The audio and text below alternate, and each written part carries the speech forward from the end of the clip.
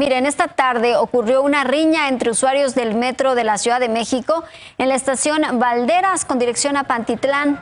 Al arribar el tren, los policías pidieron respetar la salida de las personas, pero comenzaron los empujones. Un hombre de camisa azul empujó a otro sujeto, lo jaló de la mochila e intentó derribarlo. Un par de policías y dos guardias lograron retenerlo, pues impedía el cierre de puertas y no podía avanzar el convoy. Ahí las imágenes.